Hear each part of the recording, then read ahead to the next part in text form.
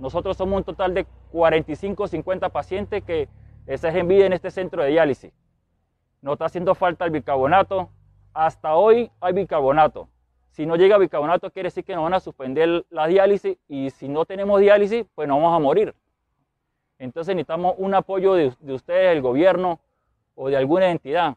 También nos hace falta muchos medicamentos, nos falta que nos colaboren para el mantenimiento de la homosis, la, la planta, las máquinas.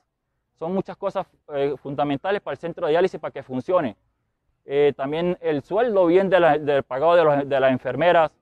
También queremos que nos colaboren con, con el SEMPLA, que es algo muy esencial para nosotros porque si se nos sube la hormona, pues nos clasificamos y nos podemos, podemos partir los huesos o hasta caer en silla de ruedas.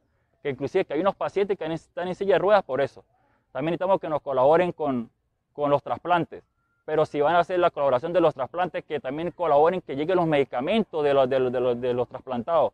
Porque eso es muy costoso, demasiado costoso y se consigue en otros países, no aquí. Entonces necesitamos el apoyo de ustedes, sobre todo del gobierno, que nos apoyen y no nos dejen de caer, porque si no nos dializamos, pues nos vamos a morir.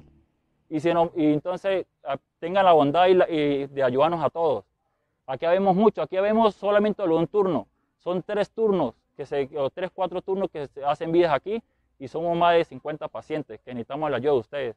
Esperemos su respuesta y su, colaboración. Muchas gracias.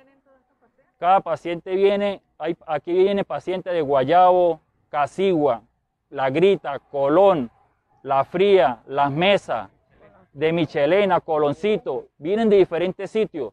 Es más, hay pacientes que no tienen ni transporte para poder venir. Hay pacientes que no le colaboran ni con la gasolina, que es lo que es esencial para que ellos se muevan.